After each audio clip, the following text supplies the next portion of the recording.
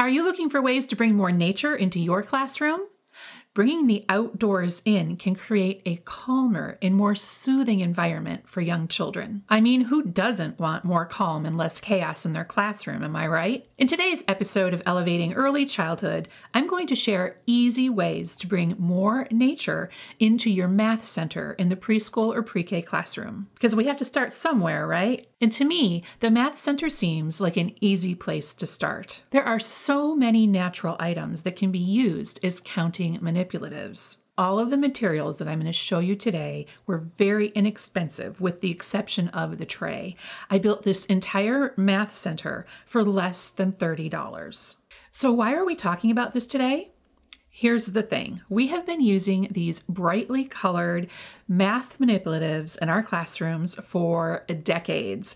There's the colored transportation counters, everyone's favorite colored teddy bears, farm animals, the list goes on and on. You see, it used to be thought that using those fun, bright colors would attract children's attention and keep them engaged for longer periods of time.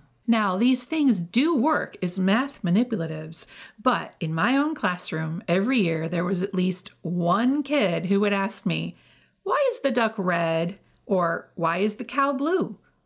And I really didn't have a good answer for that. But now, research has shown that having so much brightly colored plastic in the classroom can not only add to the visual noise and clutter of the environment, but it can also lead to problems with attentional control and increased behaviors. Because it turns out that all those fun, bright colors that we all know and love can actually be distracting for young children. These colors can cause them to lose focus and pay less attention instead of more. Now, I don't know about you, but I would definitely not want to do anything in my own classroom that could have a negative effect on behaviors or attention. So today I'm challenging you to bring more calm into your classroom by adding natural items into the learning environment. Now, this doesn't mean we have to throw everything in our classrooms away, but we can make conscious decisions going forward about what we add to the learning environment. And it doesn't have to happen overnight. You can add more things to your classroom gradually. You can start by doing it center by center because some centers are easier to transform than others. And that's why I'm starting with the Math Center. So let's dive into all the goodies, shall we? So if you're watching along, you can see my tray of natural objects here on the screen. And these are just a few examples of things you can do in your Math Center. There are many more possibilities for using natural objects in this area. So first up, we have this wooden I guess it would be called a chip and dip tray in the early childhood world. It was actually in my kitchen, and it was something that we used for um, a party that we had with vegetables and like dip in the center. So it's a wooden tray, just like the ones, the plastic ones that you see from the dollar stores, but this one is made from wood.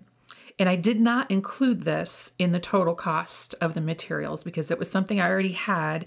And when I looked it up on Amazon, it was super expensive. I'm so glad I bought it a long time ago.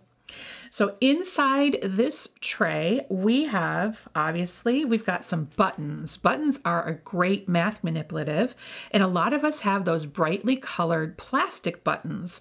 But these wood buttons were so cheap on Amazon, and they're just natural looking. I think they're coconut or something like that. I'm not really sure, but these are great for counting for little kids. They're just naturally colored. They're missing the um, brightly colored neon colors that we're used to. These wood cubes came from the Dollar Tree, Dollar Tree, or whatever it's called now, five dollar tree. Um, these were actually a dollar. And now these are kind of small. So if you have younger children, children younger than four, you're going to want to get bigger um, cubes, wood cubes, because they do sell them in different sizes. These were just the ones I happened to purchase. And I know we get lots of teachers here who watch the podcast or listen to the podcast to teach children younger than four. So that's why I wanted to mention it. Now, these beads I love. These beads, you can see, are completely wood and they have a very large hole in the middle. And I'll show you what you can do with these shortly, but they're great math counters. And then this simple, simple, simple, right? This is a round wooden disc. Okay, are you with me so far? These are like chips. You know how you, a lot of times you have like colored chips that you use for counting? These are wood colored chips, and you can do a lot with these. And of course, scattered around the tray, you can see some hints of other things that you could use that aren't necessarily in my tray. Um, we've got pine cones, shells, rocks. And I forgot to mention these little people counters. How cool are these? I got these from the craft store a long time ago. I'm not really sure um, which craft store or when I got them, but I'm sure they still make them. They're little peg people and they're just natural wood. They have no faces, no arms, no legs, but people always make great counters and these are super cheap. So here you've got nothing but natural wooden objects and some found nature items. These shells actually came from the beach. And these pine cones, I think I got them on clearance, like in a bag for Christmas or something like that. And of course, rocks, giant rocks like this one. I actually got a bag of these at the dollar store. Some other natural items that you can bring in are craft sticks. Again, I got these at the Dollar Tree. So, craft sticks are super easy to source for teachers, and you can buy lots and lots of them for very little. Um, and they make great counters for your math center. You can use them in a lot of different ways. And then, of course, we have those wood chips that I showed you. You can also just use a Sharpie and put dots on them so they're like dominoes and you can use them as the for number sense, you know, for counting so students can count out certain numbers of items. So there's that. I wrote numbers on some of my flat rocks. So if your students are working on numeral representation, um, you can totally do that. I just used a Sharpie. Okay, next up, I wanted to show you what I do with the wood beads. So here we have these wood beads. They have a very large hole in them. And we have a dowel, which is basically just a wooden, a round wooden uh, piece. And these beads actually fit really nicely on the dowel. And so you can just take, for example, this wooden chip. A child can take a chip, place it, and then count the beads onto the stick. Now, what I would like to do um, is if I can find my drill, I have some wood slices in my block center that I could drill a hole in and put the dowels in standing upright, and then the children could just slip the beads over the end and create like bead towers for counting. That's one idea. Okay, next up, I have these very cute little wood trays. I also got these from the dollar store, and they're tiny uh, by comparison to like a tray that you would use for like a table service or something or breakfast in bed for mom. They're very small compared to that. You can see here's my hand in the middle. Um, but one thing you can do for young children, um, I put a piece of thin cork in the bottom. Um, sometimes you can find thin sheets of cork, like in the scrapbooking section at your uh, local craft store. So I got one of those. And I took one of my big flat rocks and I put it here in the tray so a child could select a rock.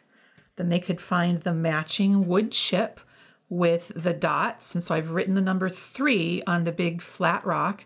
And then the chips have three dots, right? So they can practice number sense one, two, three, and counting with one to one correspondence.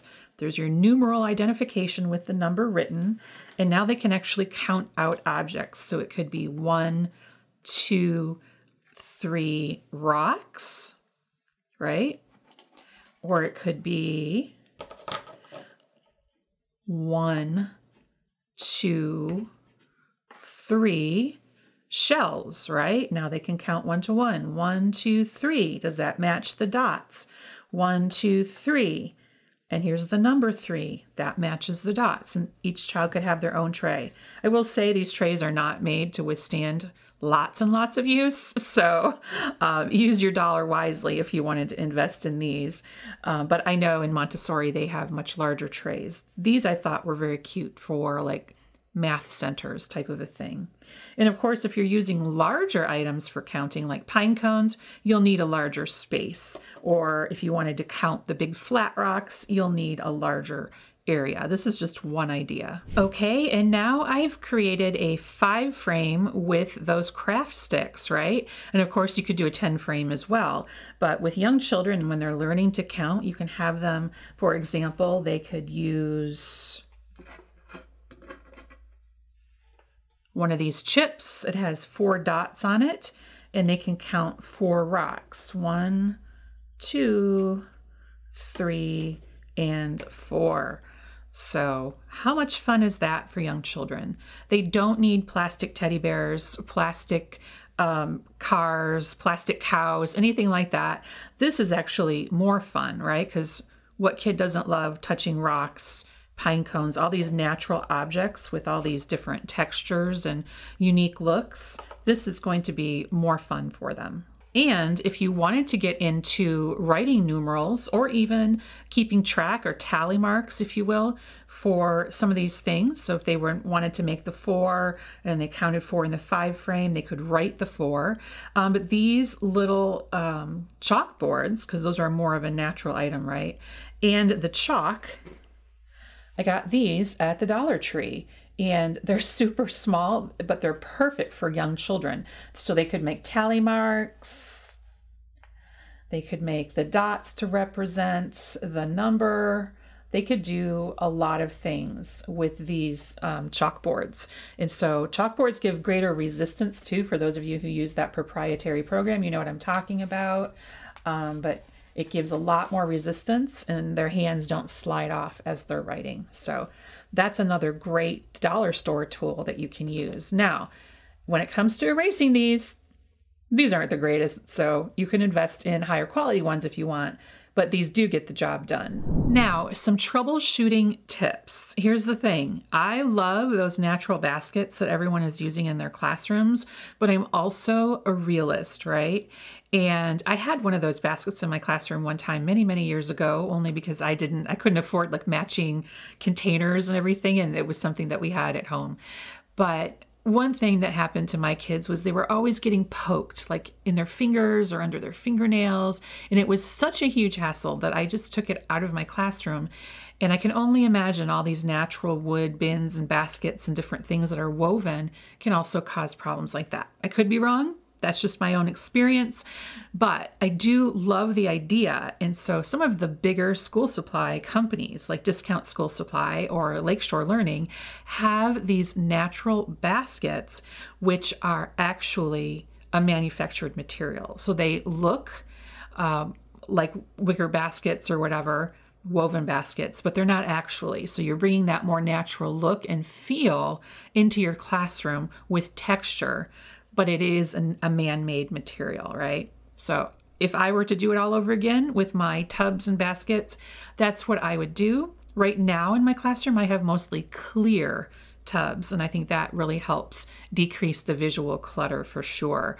Um, so you could be like me, go clear tubs, or you could do um, those woven man made baskets, although those are a lot pricier because they're on trend right now, right? but anyway, I love anything from those two school supply companies. So you probably can't go wrong. If you have a budget, put it on your list. Um, but if not, no biggie. So, there you have it my ultimate guide to building a natural preschool math center to help create a calmer classroom with less chaos. And before I forget, in my Amazon shop, I created a list for you of a lot of really cool natural materials that you can use in your own classroom if you have a budget. So, look below this video in the description box where you can find a link to that shop. Or you can go, if you're listening along, to prekpages.com and type in Math Center in the search box. Until next time, I'm Vanessa Levin. Onward and upward. Did you enjoy today's episode? If so, then I invite you to explore all that my Teaching Trailblazers program has to offer. Inside, you'll have access to time saving resources, top notch trainings, and expert advice that will transform your teaching experience. The curriculum, resources, activities, and printables inside cover everything from literacy and math to social emotional development and fine motor skills, ensuring that your little learners grow and thrive all year long. You'll find more than 70 professional development trainings that will help you do everything from handling tough conversations with parents to teaching specific literacy skills and even improving circle time, plus much more.